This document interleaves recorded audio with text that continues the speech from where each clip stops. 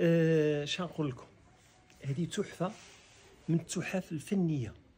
هذه أه نادرة قليلة. هذه شي حاجة ما دايراش.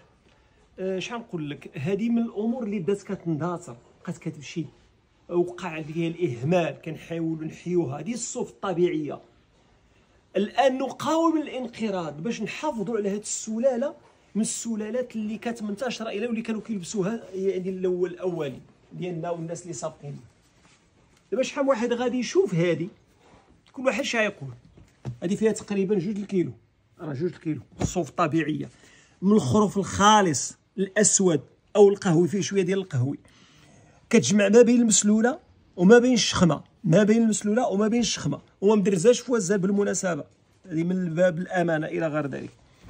هاد التحفة الفنية اللي هي صبيغة الرحمن. اللي هي طبيعية ملي كتشم الريحة كتطلع الريحه طبيعية. طبيعية مخدومة بأنامل ديال الصانع التقليدي ومجموعة واحد العدد كبير ديال الخرفان اللي هما عندهم الصوف السوداء آه، أسود باش كتعطينا هذه اللوحة الفنية وهذا الصوف. ولذلك رغم الحروشية ديالها ورغم الهدك ديالها إلا أنها أنا صراحة وللأمانة اتصل بي عدد كبير ديال الناس. وكيوصيهم أنه يمشي يقلب على صوف ما يكونش فيها البوليستر هذه راه ما فيهاش بوليستر صوف طبيعيه صرف اللي باش تصلح له العلاج وتصلح له الجسم ديالو ويتسر بها راسو باش يحاول ما أمكن باش يوصلش لك الحالة دي.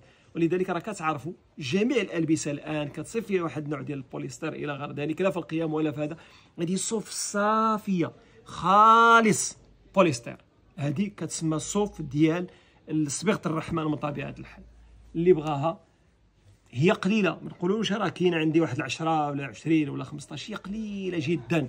اللي بغاها راه كاينة شي عينات منها. مرحبا بكم. وهذه ديال أحد الزبائن السردوان من مدينة سيدي قاسم. هذا عشاق كيقلب على البيوت الطبيعي. صراحة يقول لي من طح في يدك خليها لي.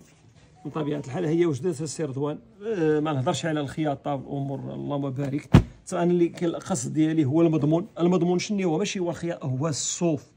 من طبيعة الحال. هذه الصوف اللي باغي يتهلا في راسو اللي باغي يدير شي حاجة بيو طبيعية. تبارك الله عليك